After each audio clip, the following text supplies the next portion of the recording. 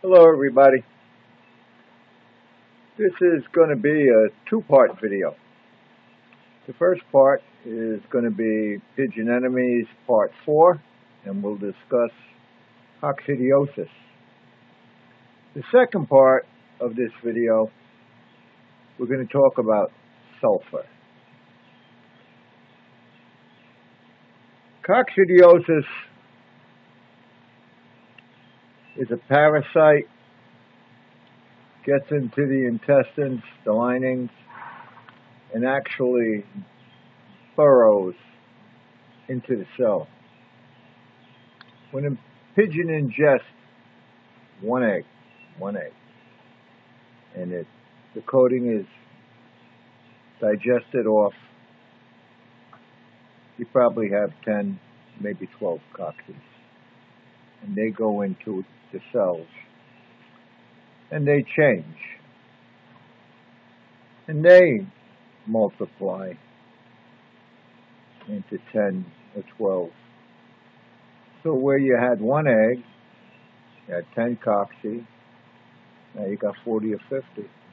And this continues to happen until you have a mature coccidiosis. I'm going to provide a link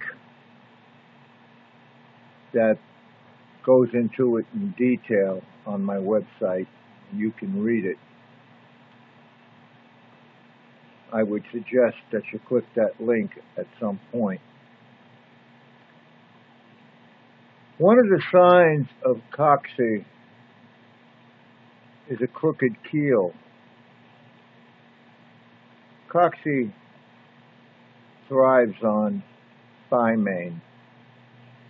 In fact, one of the medications for coccidiosis is Corid. Corid mimics thiamine, and the cocci eats it. It gets no nutrients, and they starve and die. Another treatment for cocci this is my favorite. Is Baycox. Baycox kills coccidiosis at all stages when they ingest it. I think it's a 48 hour cure. Works pretty fast. Does a real good job. There's another brand on the market offhand, I don't remember the name of it. But it's it's Baycox with another name, probably made by Bayer. Your kids, your pigeons can't perform when they got coccidiosis. Symptoms of it uh, loose watery droppings, sometimes bloody droppings, because when they're multiplying, they're bursting the cells. Um, lost the thought there.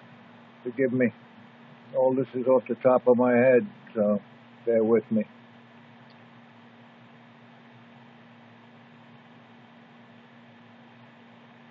It, they, it just consumes the thiamine. Oh, the other thing that I wanted to mention, while it's exploding the cells, the big problem becomes bacteria getting into the bloodstream. And that's probably the biggest cause of the symptoms of cocci. Pigeons do build up an immunity to it.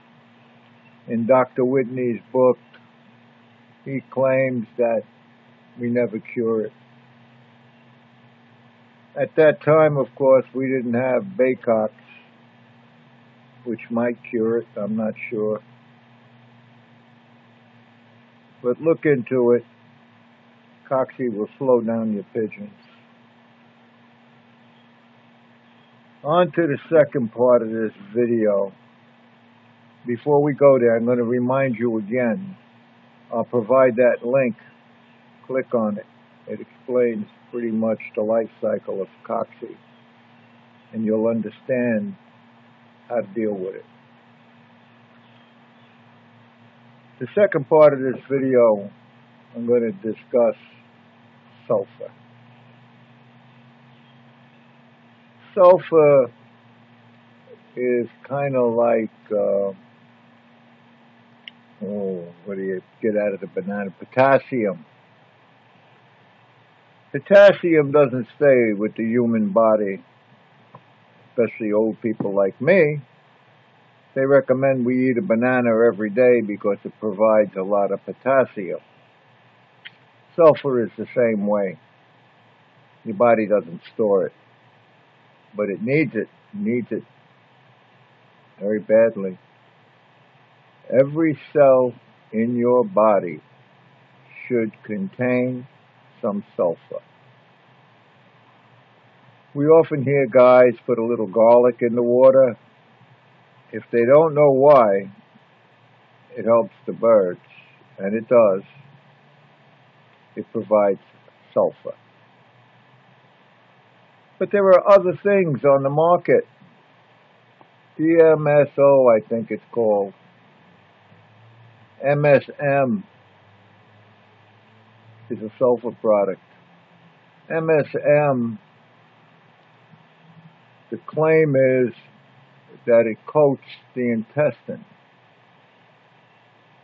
And in doing so, when eggs hatch, whether they be worms or cocci or something else, this coating prevents them from hooking on, you know, like a snake with them teeth, they hook on. The MSM is supposed to provide a coating that prevents that. And if it does, that's a big plus. MSM was basically an external treatment for horses with their ligaments. They would put it on bandages and things like that. They would have a sprained tendon or something along those lines. But some people or some trainers began feeding it to the horses. And strangely enough, the horses made better time. In some cases, as much as a minute, depending on the horse. It's possible that MSM does that. What sulfur does in the body, it makes the cells pliable. Now, what's important about that? I could use a little of my neck here. Good for your skin. But in the lungs, and I imagine the air sacs, it allows the oxygen to be absorbed and transferred into the blood. That's probably why the horses could run faster. More oxygen, better muscle utilization. So MSM might be something you do a little research on. Look into it. If the coating works, you'll have less parasites. Sulfur does make your cells pliable. It allows the oxygen, once in the blood, to easily transfer to the muscle.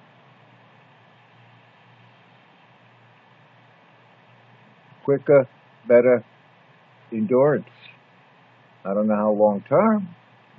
I'm not a scientist, but I do understand how it can help.